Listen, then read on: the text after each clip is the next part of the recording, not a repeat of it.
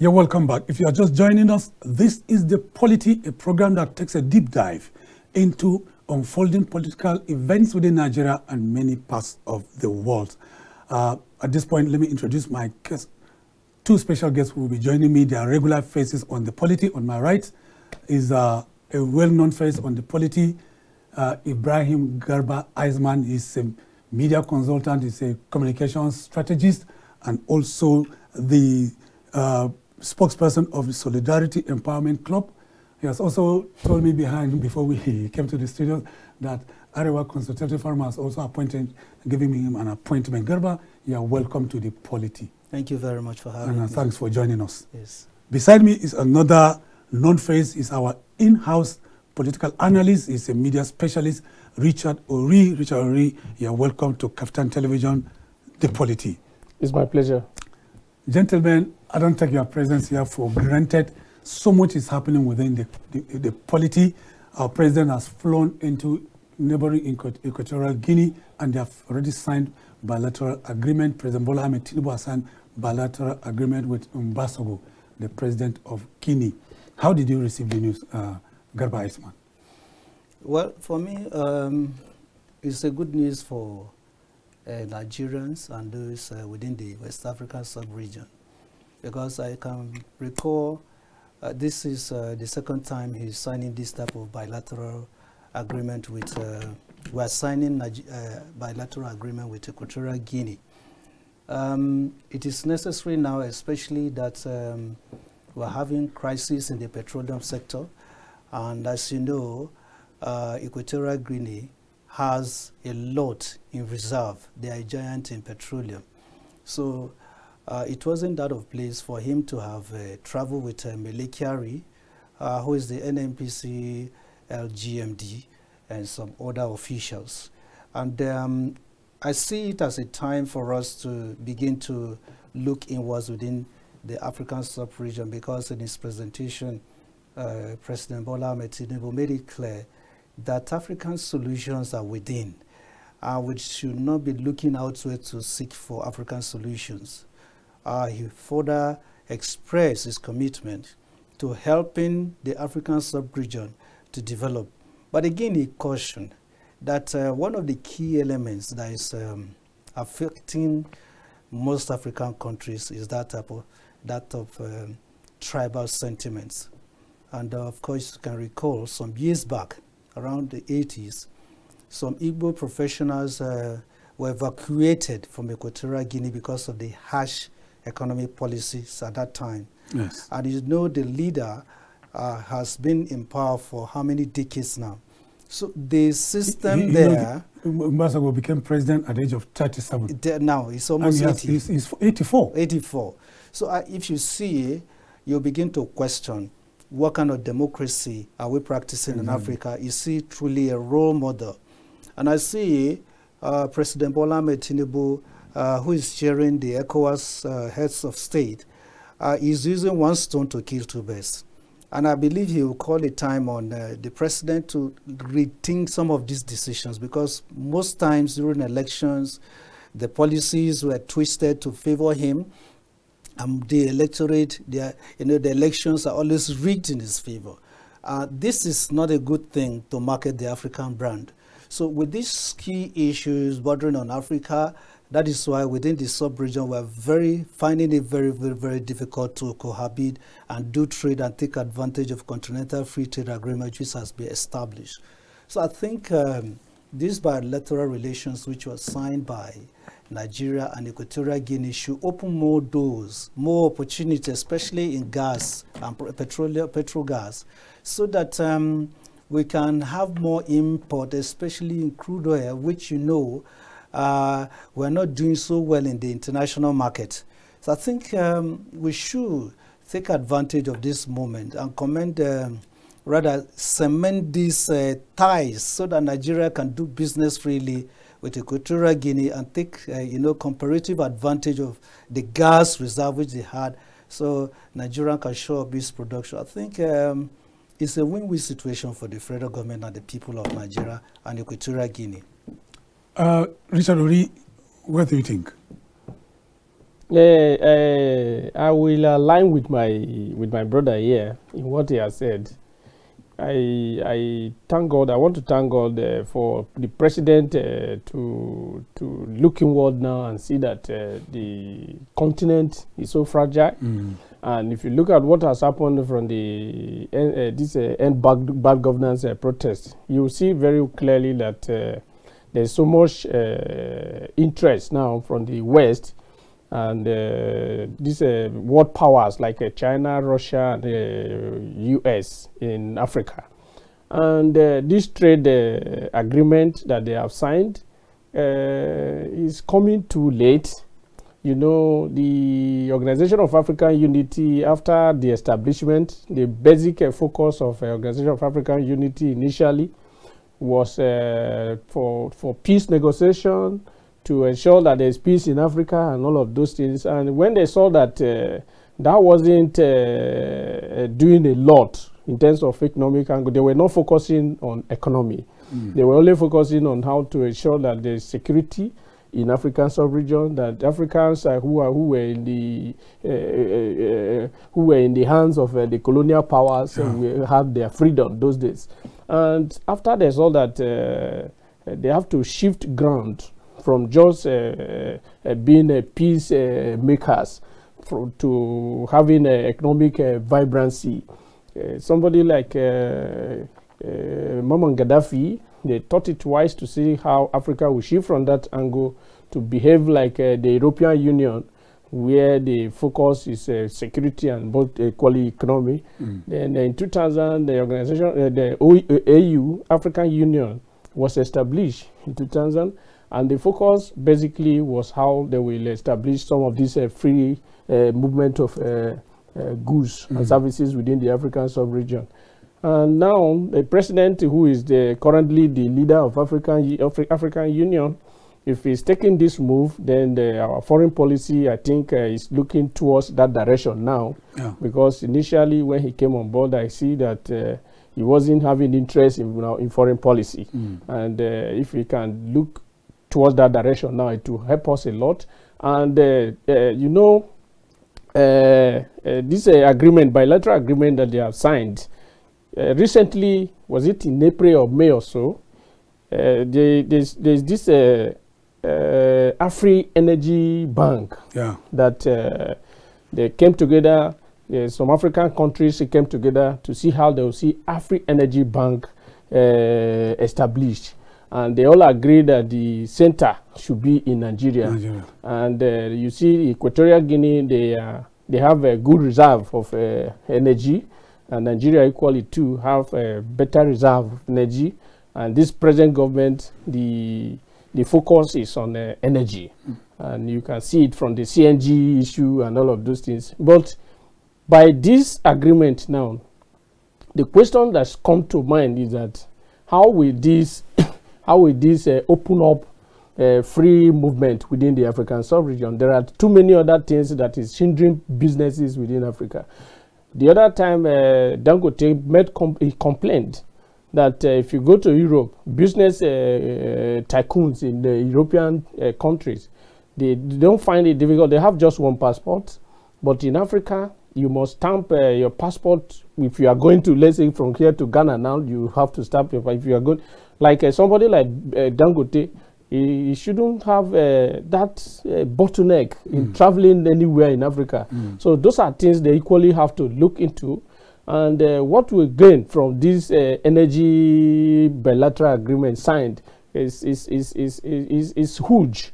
Is huge because in the African continent we focus more on the uh, agricultural issue, uh, oil, crude oil. Like the both country now, they are good in oil. They have oil enough, and uh, and, and and if they are shifting from uh, just oil to energy now, I think it will it will boost the economy of the continent and again give a, a opportunity for employment and some other developmental issues. Integration as well too will uh, is, is is opening up for uh, uh, African in- integration, which uh, in the past we don't have. Mm. And uh, from the statements of the president that I, I read, Uh, he said uh, African uh, led solution to African problems is the way forward. Mm. And he made mention of uh, peace, uh, good governance, peace, democracy, and uh, what again? three things he mentioned. All of these things, the uh, within the purview of uh, mm. democracy, mm. because the basic uh, ingredient of democracy is peace. And that is why it was established and exported to this mm. side of the world by America. So if we can, you know, you should you shouldn't just stop in the uh, Equatorial Guinea. Mm. He should equally take this campaign to other parts of Africa. There is very it is, it is a very serious issue now that uh, uh, our continent is fragile and uh, prone to to to to to uh, conflict and all of them all leader all the leaders they are elders like the equatorial guinea president mm -hmm. is an elder our president is an elder. so, so, so they have to put the continent in a way that as they are going, they are close to their exit point. Mm. As they are going, they will leave a very sound continent uh, uh, uh, in peace, of peace uh, for, for the rest of us. So it's, it's, it's a good uh, development. Well, uh, Ibrahim Garba, you and I know that we live in a, in a country of, you know, high spectacle of, of cynicism. So many Nigerians are cynical about this agreement, and you don't blame them for that because of the rhetorics of the past. And many people have heard them say they hope that this is not one of the rhetorics by African leaders, particularly sit-tight leaders. Mbasogo has been there for about 40 something years. What, how do you react to that? Well, to me, you don't throw away the baby and the bathwater. We are not interested in how long he has been in office now. This is an established democracy for those people in Equatorial Guinea.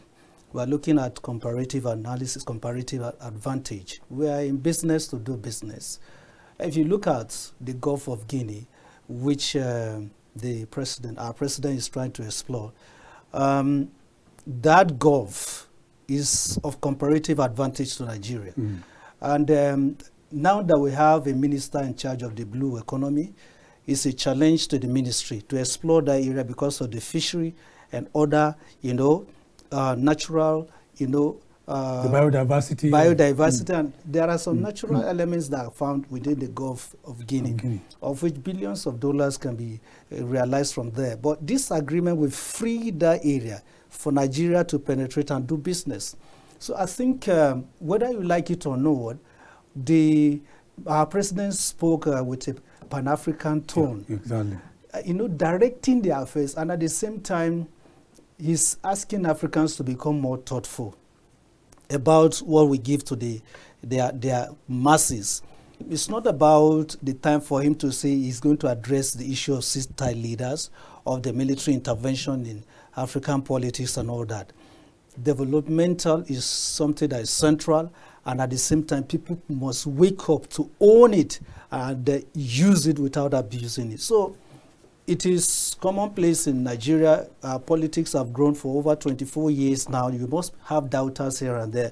But he's more focused about what he can do within the immediate to rescue Nigeria from these uh, abyss. Because if you look at it, the level of inflation has gone as far as 40%. But of recent, we see the price of tomatoes and other perishable items going down and you are opening the borders and you are creating more opportunities for young people to come into governance, it's a very, very challenging moment for the president. So for him to recalibrate, he needs to be more thoughtful. He needs to do a lot of research. He needs to go into bilateral uh, agreements. you need to sign agreements. you need to explore other opportunities across the world. So beginning from Africa, whom you know is a troubled continent because of infiltration of the West, Western ideologies, this is the right time to strike a deal. Mm -hmm. So for me, going to Equatorial Guinea is a, mm. is, I think he has got a very good points. One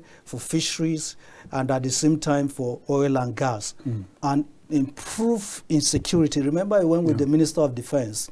So around along that coastal area, we need to have improved security. Yeah uh, you know, because of the pirates around that area. That's right. So I think Nigerians, we should, be, we should not look at the man, we should look at the message Mm. and what is coming to give to Nigeria. So it is about time for us to focus more on the policies of government, where it's going, where it's getting it right. We should give him thumbs up and support him. If he's going the wrong way, we should advise, not to attack, and we should be constructive in our criticism. I think uh, we're, on the, we're on track. Okay. Uh, I just want to announce to our numerous viewers that our telephone number will soon be displayed by our producer. It is right there on your screen. You can begin to call in so that you can also make your opinion, uh, give your opinion so that the program will be interactive and conversational. Let me come to you. Uh, when uh, Iceman said, we shouldn't look at the messenger but the message. And he has also cautioned that we shouldn't throw away the birth water with the baby. Um, I just want to ask you, uh, Richard Ori, the, the, the, the, Equatorial Guinean president has been there for about four decades. Now, uh, not, yeah, for about four, more than four decades. Now, he's, he, he talked at the signing of the bilateral agreement, he, he talked about inclusivity, the need for African leaders to entrench inclusivity, to eschew nepotism, and then to be democratically inclined. But uh, elections have not been held in that country for, for, for, for decades. How would you react to that from what people are saying? Mm, it's just like uh, my brother said, uh, we shouldn't be looking at the age now. If what he is saying is not just a mere propaganda, because in propaganda, what you are saying is different from what you mean. So if it's not just mere propaganda and they mean what they are saying, Mm. it will be very good for all of us. If you look at, uh, at it, uh, America uh, is the exporter of democracy to Mm. us. Mm. And the person leading America today as president, uh, Joe Biden, I don't think Joe Biden is younger than the Equatorial Guinea president. No, he's not. Joe Biden should be older than him. Uh, so all we are looking at is uh, good governance. Yeah.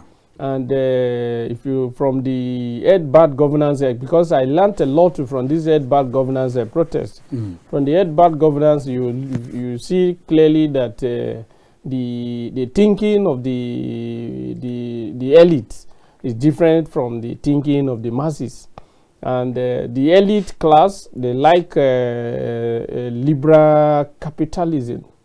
And why the masses in Nigeria and some part of African country, they like uh, socialist economy, Mm. uh, where you, you they rely so much on government to provide almost everything Right. and uh, and that is why you see the agitation heating up. I learned a lot from the End Bad governance uh, protest. Mm. So if uh, the president and the, uh, the president of Nigeria and president of uh, uh, Equatorial Guinea, they have come down as elders to see that uh, we have had enough and we have seen enough because the, the the actors in what is happening in Africa generally are the agitators and uh, them the the are the leaders and they have heard from the actors if, if you if you want to take a decision as a as a leader what you look at first is the environment where you where the issue is if you look at the environment then the actors within the environment you check what their mind is saying and they have seen and if uh, through this uh, bilateral agreement and this uh, uh, gas uh, uh, arrangement Mm. will will will will will be sustained i think that will open up a lot of things. It will give employment like he said not just gas. The uh, uh, blue economy is here and uh, we are the giant of africa and even uh, our our minister now he traveled with him. And uh, him too going there he's, he's, he wasn't just there because uh, the president is there. He, he will equally meet with the a minister in charge of uh, the same ministry with him and they will have their own meeting discussion. And in such a situation that uh, diplomatic arrangement will equally bring a lot of development to nigeria and citizens will benefit from it. So they, they, they have started it as elders. Other younger presidents within the African continent should pick, uh, should, should follow their lead now, and let us have good governance in Africa. What we are praying is govern- good governance. Okay. Politics is gone. We are done with politics now. Election has come and gone. Now is governance. So governance. what we want is governance and development. Once Africa is developed, there is no how anyone anyone will talk about anything. If you look at other countries of the world like uh, China, uh, India, and other America, they check development from uh, uh, how citizens, how many number of your citizens can comfortably change their wardrobe uh, in a month or in, a, in, three months can change their wardrobe. How many of them can travel by air? Like uh, let's say in a month, how many times can they travel by air? How many times can they uh, renovate their house mm. in the in a year? You just let's just put it in a year.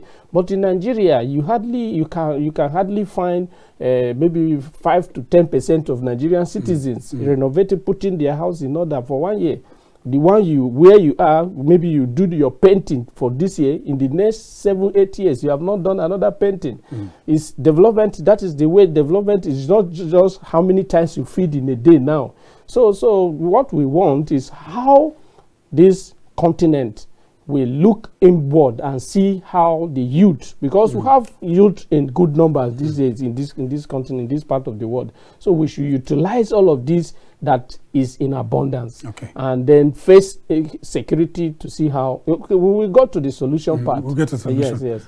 Uh, Garba Iceman, both of you have spoken so glowingly and laudably you know with regards to the uh, mutual benefits uh, you know arising from these uh, bilateral agreements but you know the, the president traveled with retinue of uh, government officials that included the, the Minister of State for Petroleum, the NNPCL managing, group managing director Mele Kyari, and uh, the defense minister. But conspicuously absent is the private sector. We know the world over, government is the enabler, but the oil sector is private sector driven.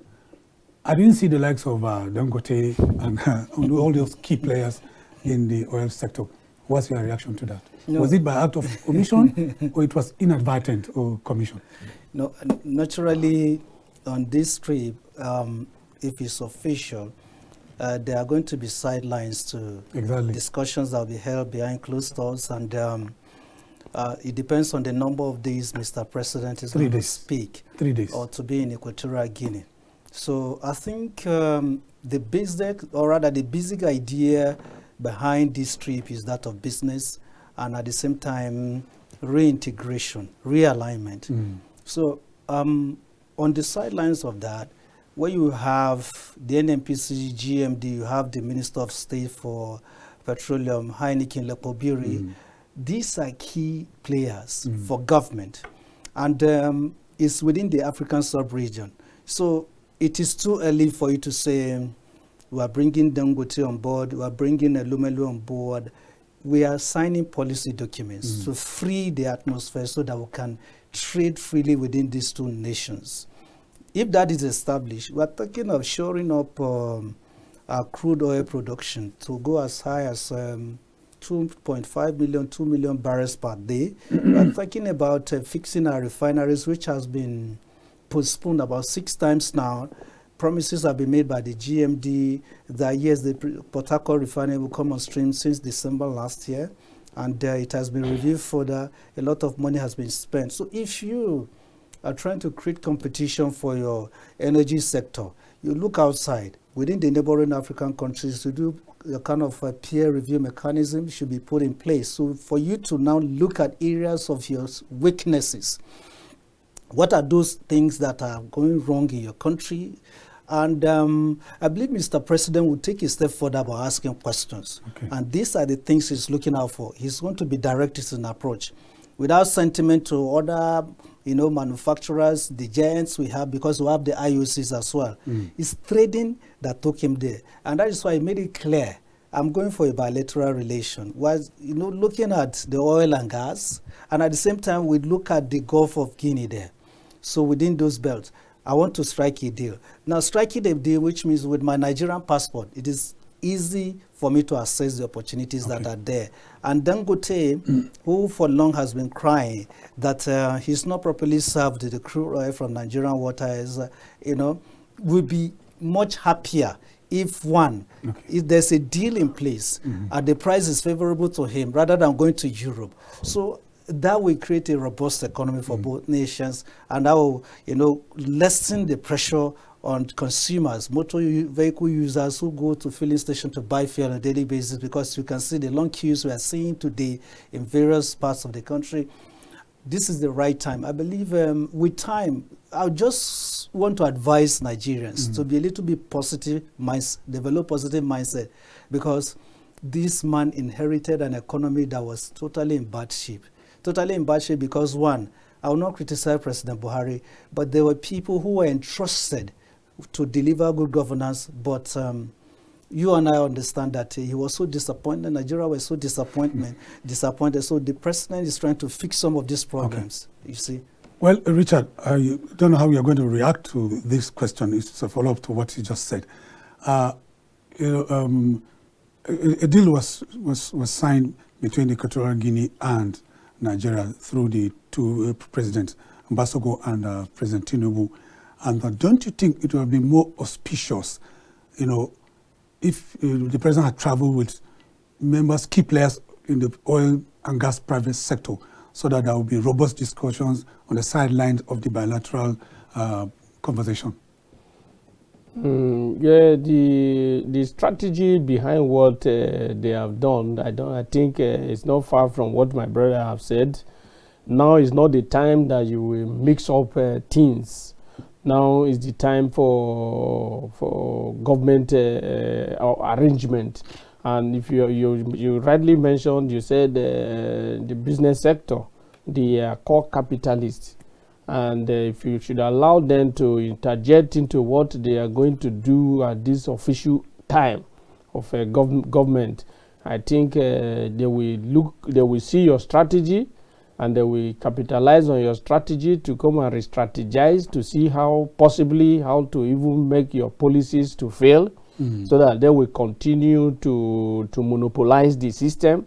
And uh, maybe some of those things are things uh, because the president as he is he has strategies who think with him who give him advice. So they have their reasons for not uh, going along with those set of people for now so by the time that uh, the system is stable and uh, what they are trying to put in place is in in proper shape maybe that will be the time you know some of these people you mentioned like elumelu dangote uh, and all of those uh, business uh, tycoon within the Nigerian uh, economy, they, they, they are the ones that have formed the Nigerian uh, Economic Council today. I think a president constituted uh, something and they inaugurated them about how many uh, uh, just last last month. Not that they just uh, sh- sh- uh, them, they just uh, push them aside. They are not aside. They are not uh, aside what the government is doing. They will be brought in, but not immediately. I think uh, the point uh, my brother raised, I totally align with him, and uh, is is very strategic. I think that is what has happened. Uh, you, you, you, uh, Garba Iceman, you earlier talked about uh, the Ministry of Blue Economy, and it's a brand new ministry under the Tinubu-led administration. Aside benefits accruing, mutual benefits accruing to the new, to the two nations in terms of oil and gas, uh, you have also uh, mentioned the benefits that could accrue from the biodiversity and the ecosystem at the Gulf of Guinea. Uh, take us through your own personal assessment of what the Blue Economy Ministry has done, what you have seen so far in the last one year, and what you think they can do by way of taking advantage of these agreements. I think um, when when when when Mr. President was creating some of these ministries, uh, a cross section of Nigerians uh, criticized it by saying some of these ministries should have been merged. Mm. You have the Ministry of Transport, you have the State Minister of Transport, you have the Minister of Blue Economy. These are people occupying one building. Mm.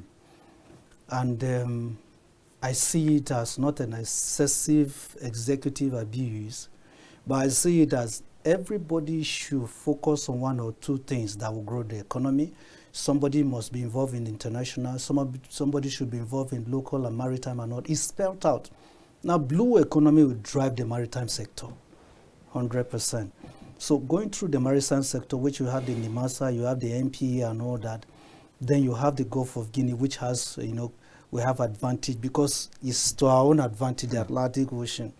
And a lot of people never knew the benefit of the blue economy. Because if you have advantage on that high sea, where you have fishery, you have a lot of mineral resource there, it increase your revenue base, your GDP. Mm. But right from inception, when the minister came in office, there was no clear blueprint on how, what and how is going to approach um, the, the sector.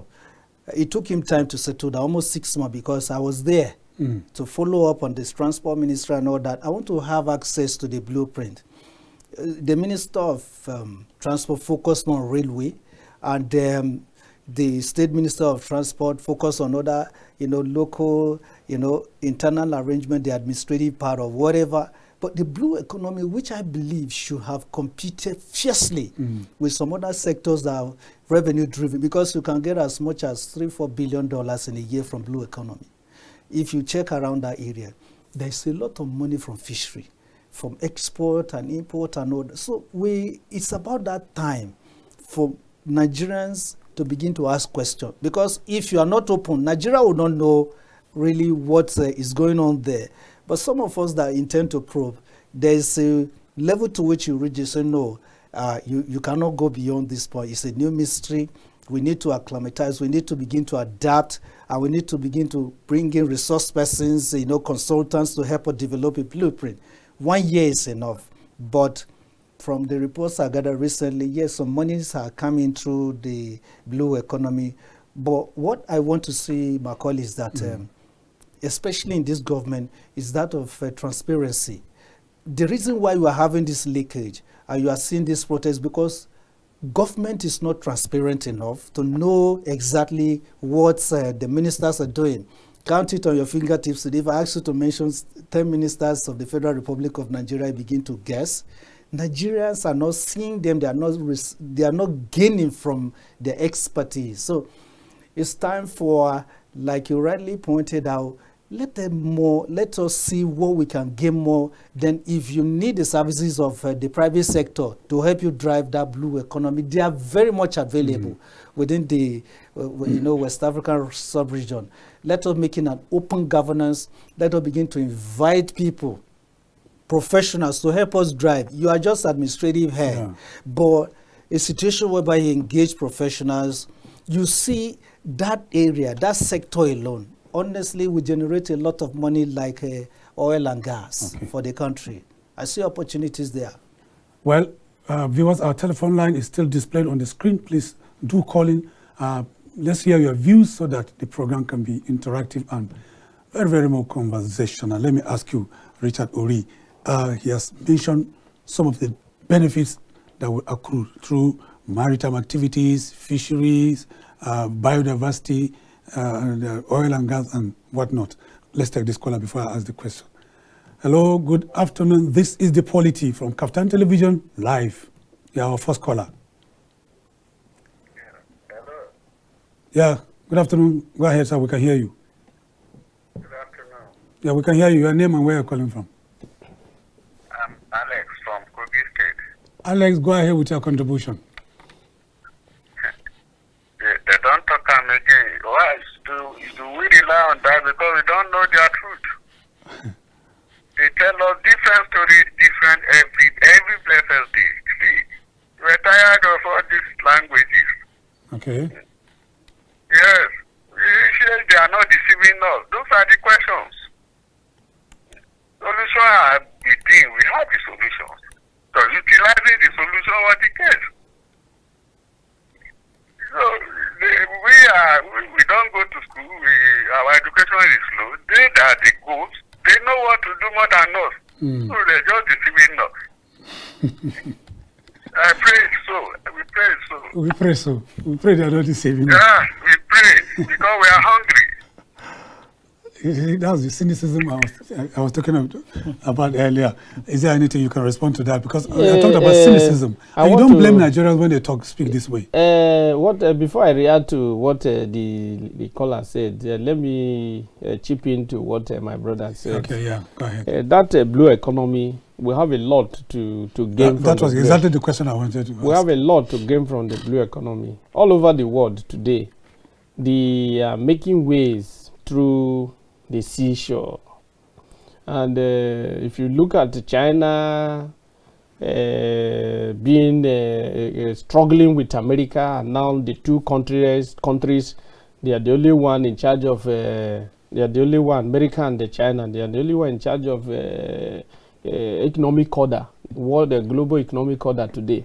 Is is is is the the, is the sea, and but Nigeria, we have that opportunity. This blue economy, what I will advise, I will want the the, the minister to do is that he has to clamp down on those uh, private uh, sectors, uh, private individuals, even some other countries coming into Nigeria to having their own port authority. Is criminal. Like now, Dangote has his refinery. Very close to Dangote's refinery, he has built port authority for himself. And you wouldn't know what they are bringing in. Mm, okay. And who is checking what they are bringing in? How, how is Nigeria making profit from that port that they have uh, uh, uh, uh, constructed for themselves? Even China now has a, uh, port authority in Lagos where they bring in their goods into the country. And if you look, what is causing problem between China and India? Is this South uh, Southeast Asia. Asia, uh, South uh, Ch- China, uh, China uh, port. China uh, port? Port, yeah. Because they are encroaching into India, Indian uh, uh, uh, Waterways. waterways. and they are even constructing presently now. What will cause a serious problem between China and India now is the port authority that uh, China is constructing within the Indian Indian zone. So, so they don't play with it. And if you what the problem, the crisis between uh, Russia and uh, Ukraine now, that the sea zone within that area is not uh, conducive for businesses to flow. Do you know where they are passing through? Turkey. And Turkey is making so much money. So much money. So Nigeria, we can make a lot of money, like he said, from this blue economy. If only the minister can stand, sit up and close all the gaps. Okay. Close all the gaps. Uh, good afternoon. This is the polity. Go ahead, Richard. If the minister can sit up to close all the gaps, What are those gaps? the gaps is how can an individual in a country like this have a, a, a personal, Personal uh, port. port authority? Hmm. How can a country like china come into nigeria and they have their own port authority hmm. where they bring in their goods into the hmm. country? How are we making profit from these goods? How do we even know what they are bringing in whether it's arms that they are bringing into the country okay, who right. is checking all of this You have already, uh, you have opened, you have. writ- Hello. Good afternoon. Hello. This, yeah. Good afternoon. This is the polity you're on. Hello. Yeah, we can hear you loud and clear. Please turn down. Could you, could you turn down the volume of your television? Turn down the volume of your television and then go ahead. Turn down the volume of your television. Says it's, it's, it is afternoon. It's not morning. It is afternoon. Where are you calling from? He's saying good. Brad. You are calling from Brass. Is it still morning in Brass? This is mm, almost. It's almost three o'clock. It's good afternoon. Good afternoon. Go ahead. I'm calling from. Turn down the volume of your TV. I can hear you. Your demand is- Abeg, no, no. Hello, sir. Yeah, I can hear you. Go ahead with your comment, please. The ministers, all the ministers, they now own it, apart from the minister of uh, FCT and uh, the minister of work that is working. All the other ministers, they are sleeping. Okay. Now, you are talking about blue economy. Nobody even knows about the, the, the CCO. I'm talking, I'm calling from Brad. I'm, the sea- He has a lot to give us. He has a lot. things that are happening in the sea. The minister is in Abuja. Does he know what is happening in Brad? Okay. That's so the challenge. minister should, That's should the look challenge. for somebody who can drive the economy, not those people that will not know what is happening. Okay. Thank you. Okay, thank you. Richard, I want you to react to this, and then you also react, uh, Iceman. He, made said- a very he made Yeah, a very, smart very- point. Exactly, very, very s- smart point. strong In a point. very short uh, very time. strong point because like Brass now, the minister doesn't know, like he said, he doesn't know what is happening in, Brass. is- So, so like uh, I pointed out uh, Dangote Port Authority. How many of our custom officials are there now monitoring what they are bringing, they are into bringing in, Nigeria from outside the country? No, no custom there. And what what is the essence of that port that he has constructed with his uh, refinery there? So, so a lot is going on within the seashore that we are not benefiting anything. And God has blessed us with this. Uh, uh, this with, with the water that Yeah, surround us yeah. now God has so many countries. You, why Russia is doing everything to see that Ukraine is not they did not slip out of their hand? It's because once Ukraine slip out of Russian hand, Russia doesn't will not have access to water. And if they don't have access to water, economically they will crash. And they won't, wouldn't want it to happen. So every country that really want to grow economically, they value water. But in Nigeria, we don't value the water that God has given to us. We only channel our energy towards uh, crude oil, crude oil, crude oil, and the crude oil is even from the, the same water. So now that uh, the God has given the current president this wisdom to create this ministry of a blue economy, they should bring us people that have the knowledge of that uh, sea area to the ministry as ministers.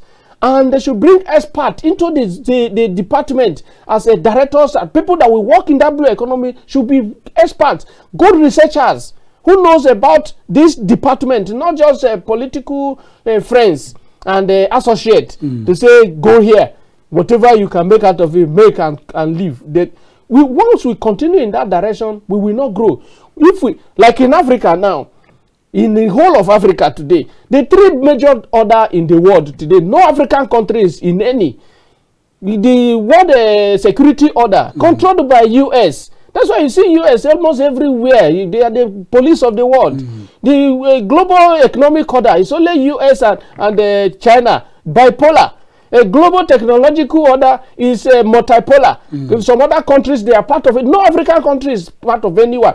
But now God has given so blessed us with natural resources that we can use to even at least be part of this economic order. Yeah. They are coming in. China is here. Russia, all of them, they are here struggling. We are seeing them every day struggling on how to come and tap from what God has given to us. yeah. But we here, we cannot stand up to see how we will utilize this and strengthen our economy for the growth of our country. It's bad. It's- uh, I can see how passionate you has been responding to this last uh, uh, uh, question. Let me ask you, uh, Richard has alluded to the fact that countries that are, you know, littoral by nature are blessed, and both Nigeria and Equatorial Guinea- are coastal countries with enormous potential and he has entertained fear and apprehension, you know, for individual, you know, uh, players in the oil and gas industry to own their own personal, let me put it in parentheses, personal ports or seaports. Do you share the same fear?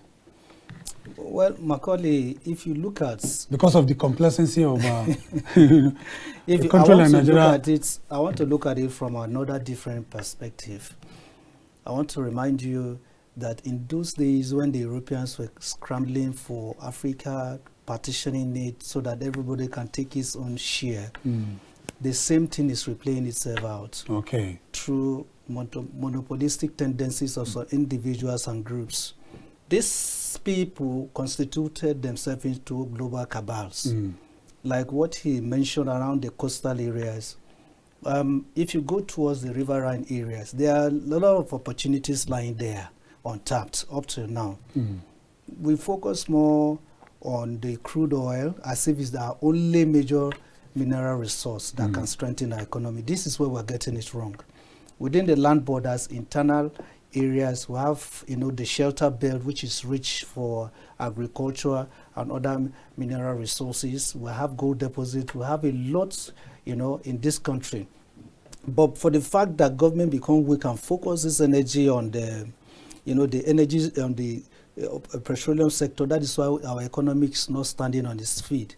So I think we should go back to the basics and block all these loopholes. I remember during Buhari administration where, you know, uh, this man that occupy the seashore for a long time, Atiku Abubakar Mm, company was withdrawn through Hadiza Bala Usman. That was a big defeat, you know, a, a big goal because one, he has been there for over, according to research, for over 10, 15 years. He never pay any, you know, tariff to the federal government. Even if it pays, it's not transparent enough.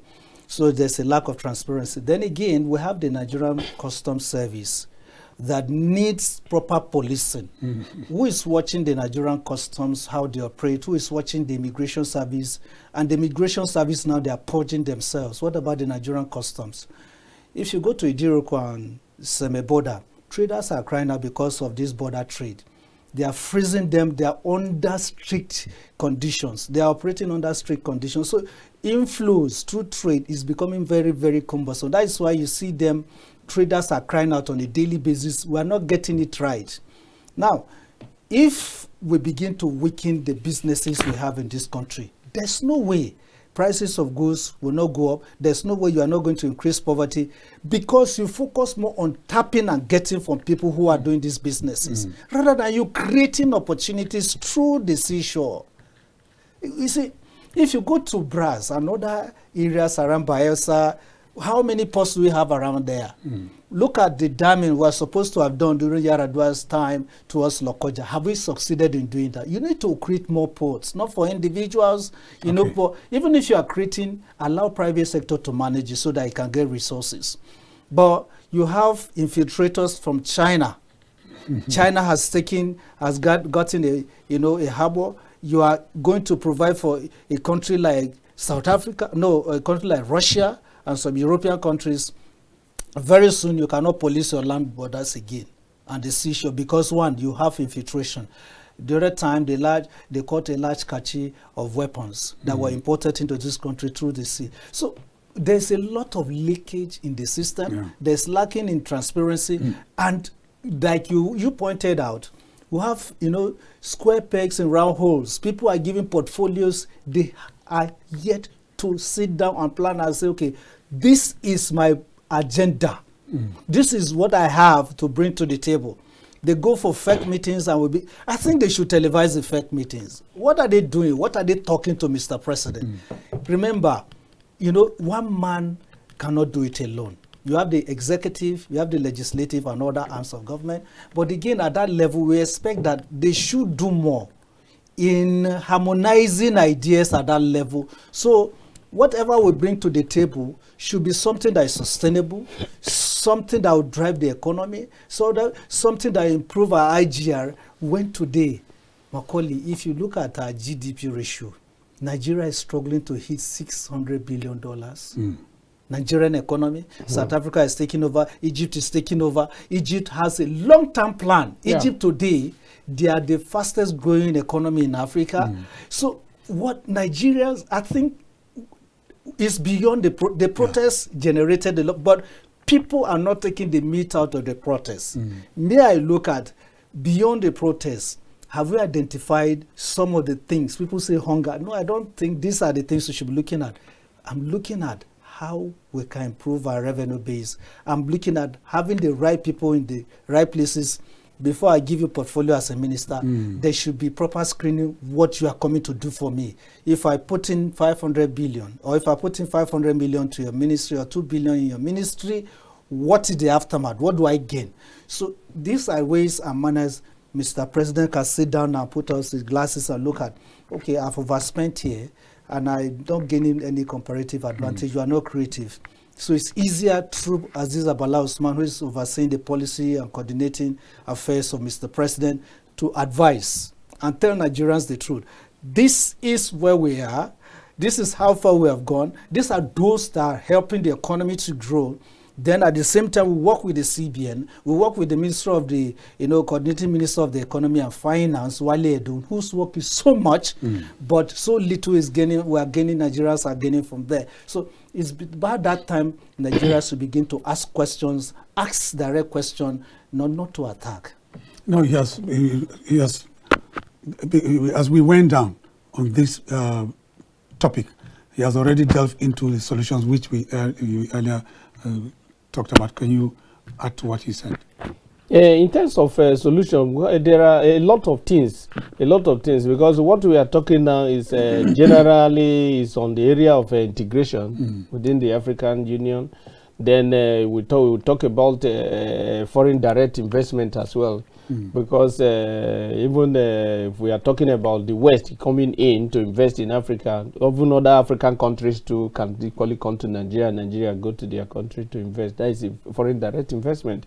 So, so the major challenges facing uh, this uh, sector generally in Nigeria and Africa is one security, government policy, and uh, bad governance, general infrastructure, and all those things. Like uh, if you talk about the list of government policy, government policy recently the the uh, uh, uh, around the May or so, uh, the CEO, uh, Chief Executive Officer of Total Energies, he pulled off over five billion dollar, uh, six billion dollar investment from here to which country is that? Is it Rwanda or which uh, which of the African country uh, like that? He pulled off uh, over six billion dollar from Nigeria, and that, that for us policy flip flops. So so Nigeria government policies they are not favorable to business. In Africa, generally government policies changes as they like. Any government any anyone that come to power changes his own policy. Recently, uh, uh, uh, Uh, uh, uh, rate of uh, this uh, borrowing rate or so CBN increases this, uh, Yes. this and that, and that is not good for businesses. And if they are talking about a bilateral relation tends that, that is economic in nature now, mm. they have to look into some of these things. And again, you talk of insecurity. Mm. Security is a very serious challenge because most of these people coming into our country to invest, they value the life, they they value the security of their staff. Yeah. the security of their staff and even the business they are bringing into your country they value it so much. So security we have to tackle security challenges uh, facing us confronting us here.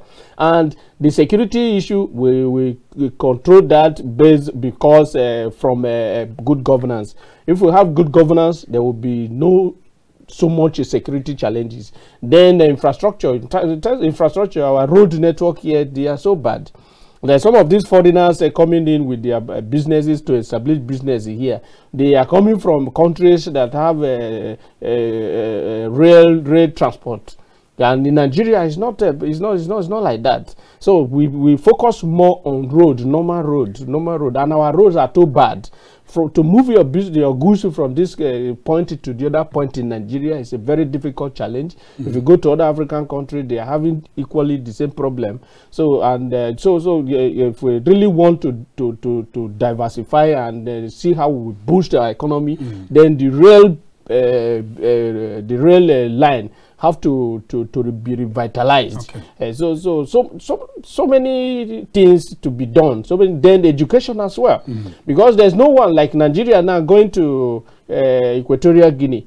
If we are investing there and we will employ citizens of Equatorial Guinea to work for us, and they don't have the adequate training, education that you if you give them guideline of what to do they will use their senses to to to, to do what you want them to do. Then it will be a challenge big challenge. So education is another key factor then proper training like uh, the ceo uh, chief executive officer of uh, uh, uh, Total Energy complained. He said most people that they are even recruiting into their business here in Nigeria. If you want to train them, they have they they, they, they find it difficult to equally learn. Meaning the educational background is is, is, is, is, is not strong. Yeah. It's not strong. If you don't have sound education, there's no how even if you are there to put you through into they don't even need certificate. What they need is is the is the Skills. is the skill cognitive is the sk- skill yeah here is the skill that to say if they say this is how you do this as they have told you that do it the way they want it and that's all they don't even need your certificate so so we don't have our education system is too weak too too weak that uh, that uh, we don't have uh, we don't have that uh, cognitive uh, Dissonance. uh, yeah, so so it's a problem it's a pro- the problem they are too numerous but uh, the, we, if we have good government, Yeah. we can put all of this in place. And then you talk about uh, energy, power, Yeah. power. In Nigeria again, just, uh, epileptic uh, power Mm, supply, even other, the same thing with other African countries. Every day they increase. Today you are here, today you are paying 5,000 naira per unit. Tomorrow they say Mm. it's 15,000. And you don't know what will happen in the next uh, 24 hours again for another increment. It's a problem. It's a problem. No, Ori has mentioned so many things. Uh, what are those additional things that you, you, you may add, you know, to, for, for government to do to get the buy-in of direct foreign investors into the country with regards to this, you know, as a direct response to this bilateral agreement signed between Equatorial Guinea and Nigeria? Uh, in, well, it's very simple in clear terms. Beyond signing the agreements, and um, you know, you need to develop what is called a protectionism. You have to protect local manufacturers, and you have to make your investment climate very clear for investors to come in. Mm. Um, if you have a clear-cut policy of say in terms of uh, taxation, what people scare most investors is that of multiple taxation. Okay. Then um, the MPC continued to dwindle. Sometimes you see it going, it never come down for as much as 26, 27 percent. Uh, if investor is coming in, they want to, you know, borrow from banks. Commercial banks are not even helping matter because of the pressure from the CBN. So we need to relax some of these laws, and we need to give tax holidays to companies and import waivers to some goods which we believe they are going to add value to the economy. You know, these are some of the areas that government is finding it difficult. Must you look at taxing consumables, hmm. the markets, the manufacturers when you know your economic is weak, economy is weak? Now, Macaulay, we, I read about two days ago, Nigeria is planning to, by 2025, to generate about 6,000 megawatts Yeah. of electricity Yeah, in in, 2025. Mm. In 2025, when Pretoria alone is generating 10,000 megawatts. Not for the whole country. Not for the Pretoria Pretoria, alone. alone. It's laughable. Yeah, it We don't need to be saying this It thing is. through the media because are you saying this to attract investment in? Uh, Not at all. in- It in- will scare them You, you It will scare already them. you have exposed a country, 36 states and Abuja, and you have over 200 million people dependent on what 6,000 megawatts in 2025, Mm. and you say it's a futuristic plan. I think if I were to speak to Mr. President today, I say, you know, put on your thinking cap and be decisive. Look, um, my minister for power, I'm giving you a target. Mm. I'm not need 6,000 megawatts. I need 20,000 between our leave. Do you know they will achieve it? He will work towards achieving it. See, you see, if you give me that assignment, so I need 20,000 megawatts. Yeah. I say, Mr. President, is realizable. All I need is build partnership Mm. and give deals out. Mm. And at the same time, where the you see electricity, Where the discos, the discos are losing money and the gencos are losing money is because they are not doing proper metering. It's not about increasing the energy tariff. It's about meter every household. Make the meters available because there are a lot of people who are not connected to the national grid, but they are using electricity Yeah. through bypass. And you need to step down by increasing the involvement of the private sector. Mm.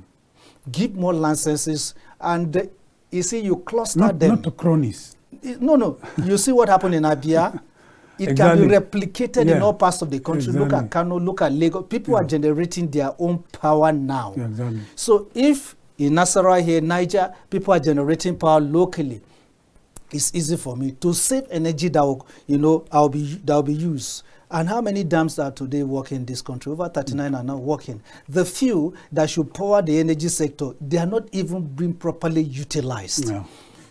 So it's about time for that's why I said if you are assigned a role to minister a, a, a portion of the Nigerian Republic, I think is beyond coming for fake meeting. Mm. I would rather stay away from fake meeting to be on site and call from the site I think- than I to be present in the fake meeting without nothing to do. This give. is a very, very huge conversation. We're going to take a critical look, I will take time to take a critical look at the energy sector of, in Nigeria.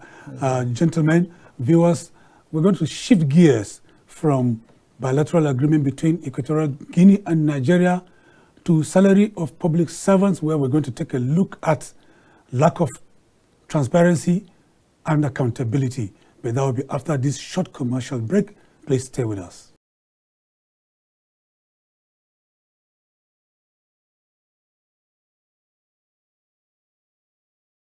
You're welcome back. If you're just joining us, this is the Polity live from Kaftan Television Studios at Katampe, Abuja, the nation's capital. And my name is Macaulay Honohashi. Uh, the Polity is a studio-based live discussion program where we open our telephone line for viewers to call in so that they can also make their opinion available to us so that the program can be conversational and more interactive. Still in the studios with me are uh, Garba Ibrahim Iceman, a public affairs commentator, a journalist of repute, and also our in-house analyst, also a communication specialist, Richard Oriri. Richard, let me ask you this question before we went on that break. We're shifting gears from uh, bilateral relations between Nigeria and Equatorial Guinea to something that has come up, salaries of public servants. Only day before yesterday, a senator came out with a damning revelation that he goes home with a monthly salary of 21 million naira. And reactions have continued to trail this revelation.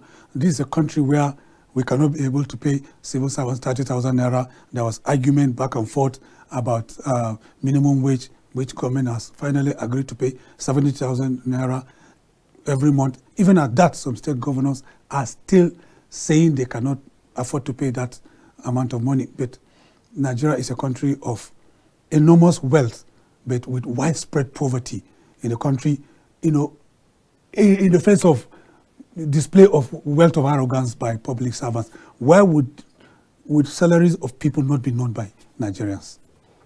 After all, we elected them.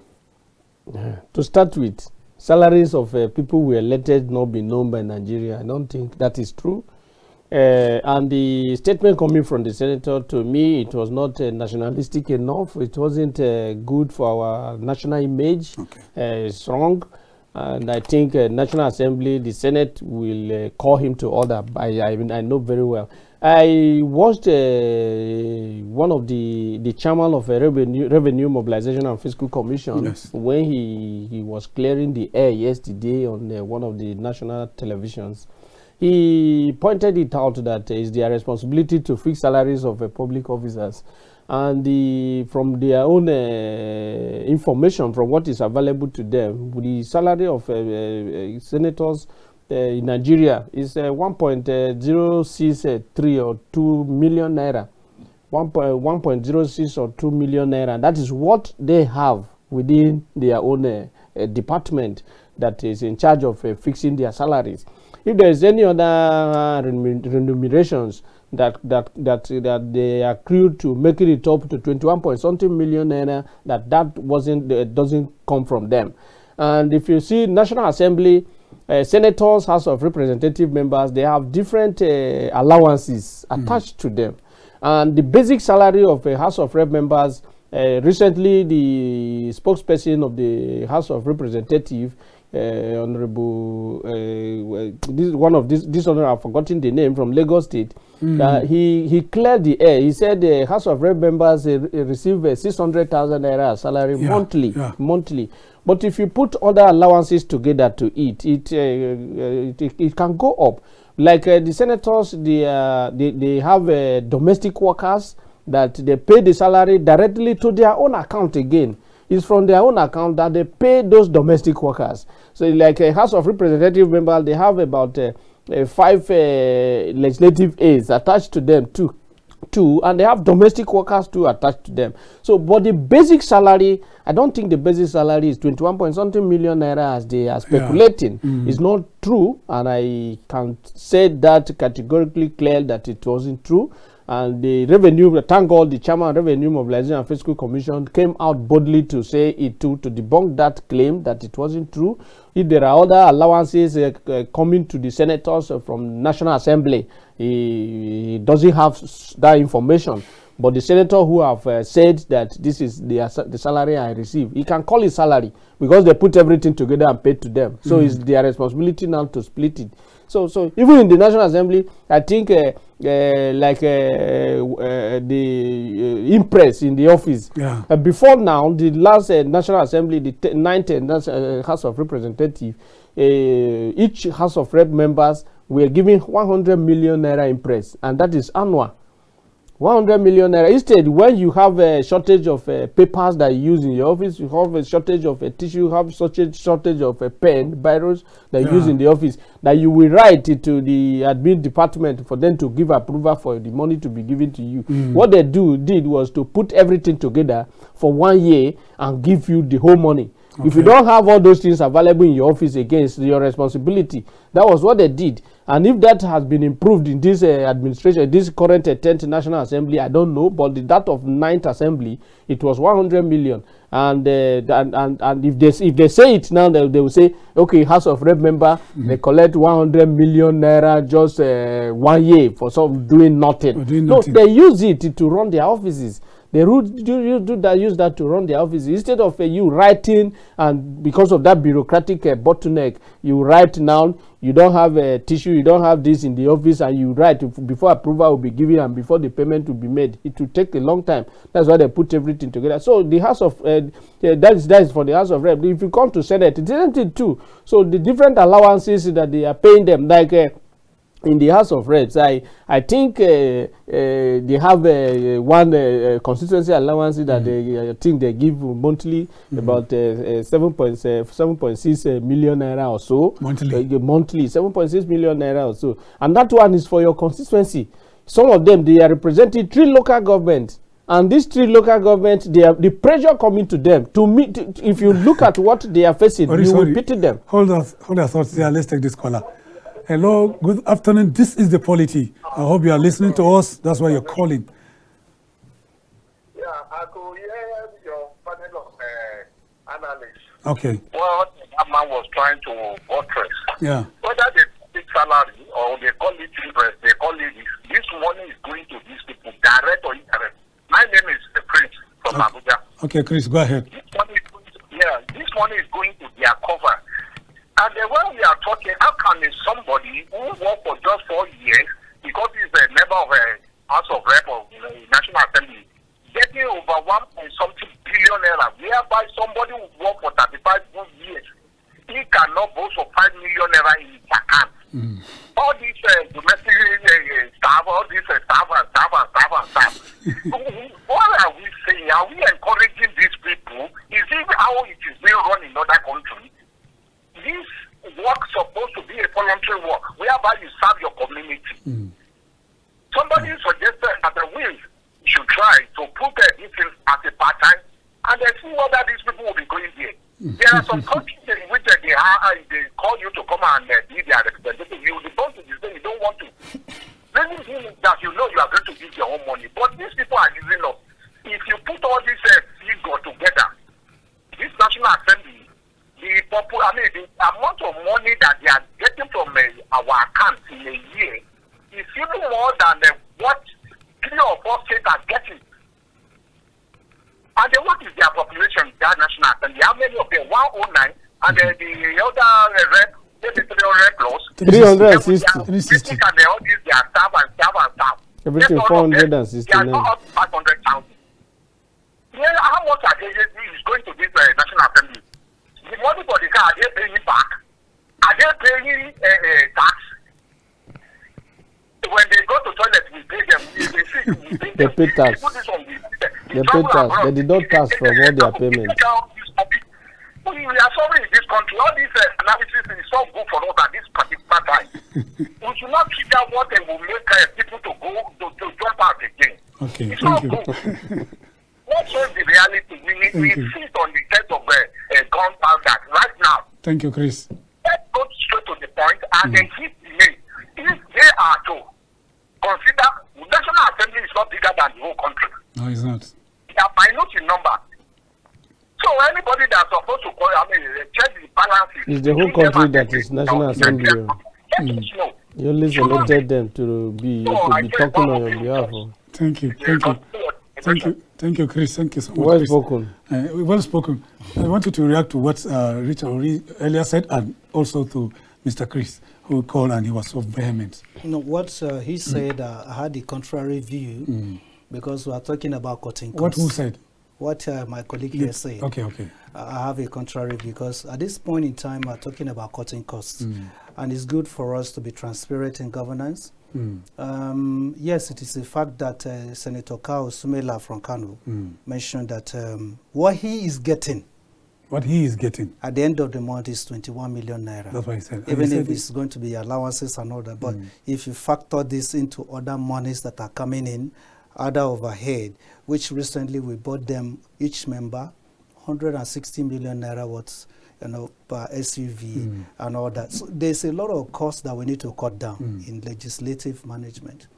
And that is why today we are, you know, having problem with issues of governance. These monies, over 70 billion, which was budgeted for this vehicle, why should we purchase new vehicle for them in the first place? If you are earning 21 million naira per month, if you are earning 21 million Mm. naira per month, is it Nigerians' responsibility to purchase an SUV 160 million? These are the questions people are asking. Senator Shehu Sani once said it. Obasanjo mentioned it that the people in the National Assembly were overpaid. So there's a need to check these excesses. And again, when Saka Sumaila was responding, he attacked Obasanjo, saying, you sowed the seed of corruption because Yeah. of your third-term agenda. Mm. There's lack of transparency. And um, Nigeria has begun to probe into the affairs of good governance. You are making it public now. For the first time, we are seeing that, yes, a senator come out to say, this is my take-home pay. When Ningi mentioned the other time that some fraudulent activities, some insertions in the budget, the current budget, he was queried and suspended. Mm. Let's see what happened to Kawu Sumaila. Is he going to be queried and suspended for exposing? So I think they should be very careful mm. because Nigerians are watching, Nigeria are mature now, they are getting better. And it is time for us to talk about cutting cost of governance. Legislative functions is not something you consider as a permanent job. After four years, you are no longer there. You still go back to your constituencies to seek votes. What we should be looking at is for the National Assembly to purge themselves and help Nigerians. Mm. A lot of money. Mm. If you put out 70 billion into the economy, it will do a lot in terms of primary health care and other services which are begging for attention. And this is cash driven. Okay, let's take this caller. Hello. Good afternoon. Good afternoon. You're on to the polity on Kaftan Television live from Abuja. Go ahead, please. We have lost this caller.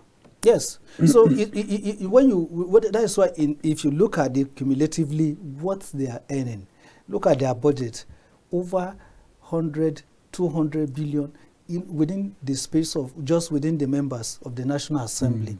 Apart from this, you have constituency allowances. The other time, there were rumors that each senator was giving 400 million, rep member 200 million. Within the space of one year, how much went into the National Assembly? But these are the same people. This is the same country where the minimum wage was 30,000 naira per worker, mm. a civil servant. You see, the discrepancy is so wide that no, we need to close these gaps now before it's implodes. In Nigeria Okay. implodes. Okay. He has mentioned the names of two senators. And uh, I would like to ask you this question, Richard. Uh, the, the, the current leadership of the Senate seem to be having a growing penchant for reprimanding uh, critical, you know, uh, senators that have critical minds against critical position, that are taking critical positions against government. And what comes to mind is the suspension of Senator Ningi, who uh, who, who made some damning revelations against the the Senate, and uh, in recent times, Senator Ndume from Southern Borno was removed from his committee, you know, for criticizing the president as chief whip. Now, do you entertain this fear that the, the, the Senator Kawu Sumaila may face the full wrath of uh, the Senate leadership? What is there is that uh, in government generally, they have their rules. And even you today, if you are elected now to go and represent your people in the National Assembly there, there's one thing you must do, Mhm. which is called oath of secrecy. Yeah. And that oath of secrecy uh, does not give you the right to Mhm. say things anyhow. Anyhow, That's why they have spokespersons in the Senate and in the House of Representatives. It is not your duty to say what you are not supposed to Exactly, say. exactly. So, and that is why they are punishing whoever erred in mm, that direction. Mm, mm. And if there is a way for us to amend such uh, laws, even in the house, in the in the executive department, they take that oath of secrecy. Even the civil servants, they take that oath of secrecy. But what, like my brother have just said, what we should be looking at is uh, proper accountability in governance. proper accountability in governance. And in democracy, we have it in three phases. In democracy, we have it in two phases: a vertical accountability, and we have it uh, uh, uh, uh, uh, Horizontal. horizontal and uh, diagonal. The horizontal uh, accountability session of uh, democracy is about uh, checks and balances between the executive, judiciary, and all of those uh, people. But in this case, in this case now, who is checking who in Exactly. the executive uh, between the executive and Okay, the all, all legislature? thoughts there is very interesting. Uh, let's take this caller. He's been calling since. Uh, good afternoon. This is the Polity. Please go ahead. Go ahead, sir. We can hear you loud and clear. Your name and where you're calling from. My name is Sadiq Orishala. Sadiq Olushala from where? I'm speaking from Kogi State. From Kogi State. Go ahead. It's your show. Yeah. You've got 30 From seconds. Kogi State. Go ahead. You have 30 seconds to Yeah. give us your opinion. Please, I just want to react to what Mr. Oriri is saying. Go ahead, sir. There is a need for us to be transparent in this country. Mm. You can imagine a country whereby we are living, somebody after serving the government for 35 good years, Mm. you cannot even boast of a roof over your head. And somebody will go to the National Assembly all in the name of senator or House of Rep member, and at the end of the day, they will accrue over what we call about 2.20 billion, Mm. all in the name of the country. And what type of transparency is that? What type of government are we running? Look at what is happening in our country today. People cannot even feed on three square. Not even come and talk about two square meal. And here are these same people lavishing money on their girlfriend, buying exotic car, moving apart. Look at the protests. Look, those people are dying on the streets. And yet we keep deceiving ourselves. So I'm very sorry what Mr. Oriri is saying. Mm. To say the fact you are not being transparent and you do, you do not speak as a true Nigerian. Mm. So that is the fact. Okay. Thank you. Thank you so much. Uh, the, uh, the, the, let me land. The transparency, transparency is in your hand, and the accountability is you that will check them. The I have talked about uh, uh, verti- uh, the hor- uh, horizontal accountability, which is between government and government. The vertical aspect and go to it is him who has just called myself and every other Nigerian who are voters in this country. The vertical aspect is you give the you, they, you, you they give the account ac- they are accountable to you on the day of election. When they come for re-election it is your responsibility to deny them that uh, chance to represent you again. And then the diagonal aspect of it the media is there who checks them and the civil society organizations. But are these people doing playing their role in this country? Okay. and this elector, elector, uh, el- el- electorate who elect these uh, members into the National Assembly and today now they are complaining, mm. are they truly checking them when the election comes? Okay. So, so, so those are the questions we need to ask ourselves. We mm. cannot just put in blame on these National Assembly members. Mm. We should equally uh, uh, uh, be self-evaluating ourselves Yeah, yeah. because because the country belongs to all of us and the way you cast your vote on the day of election count whether you are a true nigerian or you are not a true nigerian Okay. a majority of us who are nigerians on the day of election instead of you selecting leaders based on national value national interest you select leaders on the basis of your own personal pocket Okay. which is wrong Okay. and that is why we are where we are Now, uh, Richard, uh, I mean, I said Richard, uh, Garba Iceman, let's shift gears again. Uh, we talked about the need for self-evaluation and the fact that we need to mirror up ourselves as Nigerians, as the electorate. Now, let's take a look at the the zero waiver that Mr. President has, uh, you know, provided for the importation of consumables as a direct response to the widespread hunger and and uh, that has pervaded the country. We are winding down. Please, what's your view on that? No, um, we have called for this uh, several times because we need to develop um, a system whereby there will be less pressure on the economy and the consumers. And part of the government policy, this one is a stopgap approach Mm. between now And and, December. December. 31st, that we open up this window for people to import goods and at the same time trade around the border areas. But we have registered importers, Mm. but should open up to other Nigerians to come in because, you know, over these years, we know how Nigerians, especially those in authority, behaves. They could assign this to, to their cronies, their girlfriends, their best friends, and all that. At the end of the day, we do not achieve the intent Mm. to which we want. And um, at the same time, you see, we want to make sure, we want to see a situation whereby within this window period, we are granting these waivers. What are Nigerians doing? And that is why I support fully what the Chief of Defense Staff did by sending people to the, the military men behind the Yeah, farmlands. The NSCDs are deployed over 10,000 people, personnel to the you know areas that are prone to these clashes between the herdsmen and the farmers Mm. If we and there's wet season now Mm. and there's uh, from 90 what the report we had is there's going to be rainfall from september towards november so this period gives enough time for farmers to go back to the farm Mm. and see what we can harvest within this period and um, at the same time we should boost our infrastructure because if you check the rules towards bringing this good from the farm to the cities is becoming a little bit difficult for farmers and um, at the same time we don't have preservation mechanism. We should be more warehouses now and food bank so that most of this produce which we cannot export immediately can be preserved.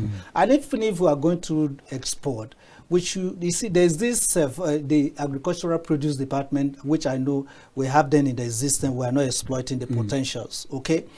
And there should be harmonization now between you know the farmers exporting products and this uh, ministry or agency of government because there's no synergy among this uh, group.